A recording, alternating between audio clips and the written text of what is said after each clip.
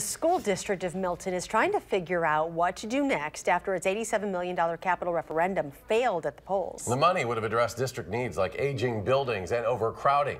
Rock County reporter Jenna Middaugh has more.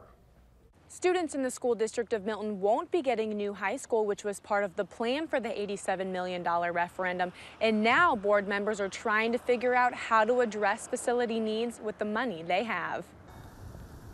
The costs are not going to get less expensive, and the needs are not going away. After a very close vote split the district's referendum, the school board is now looking ahead. We needed to rest up after the election, regroup. This is a first step. A subgroup of the board will be meeting Wednesday morning to talk about what to do with the operational referendum that passed, granting the district $2.5 million a year for the next five years. A portion of that, of course, goes to cover our structural deficit. But there's money beyond that which will help us maintain and improve our robust programs.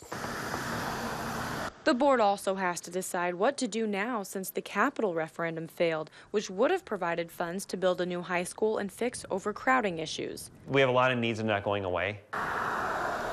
Since the vote was so close, the school board is looking for community input on how to move forward. Our schools are so positive. Milton is such a phenomenal community to live in. We can do so many more good things if we find a way to do it together. And I think that's what we'll be reaching out to do. The School District of Milton Strategic Planning Committee will be meeting tomorrow morning at 9.30 at the district office to talk about the next steps. In Milton, Jenna Middaugh, WISC News 3. The meeting is open to the public, so the community is invited to go tomorrow morning. The Strategic Planning Committee will bring what it discussed at that meeting to the school board's next meeting, which will be on Monday. Next tonight, a federal judge has blocked a ruling that would have extended overtime pay to more than 4 million workers.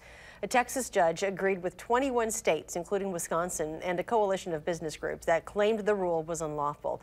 The regulation, considered one of President Obama's signature achievements, was set to take effect on December 1st.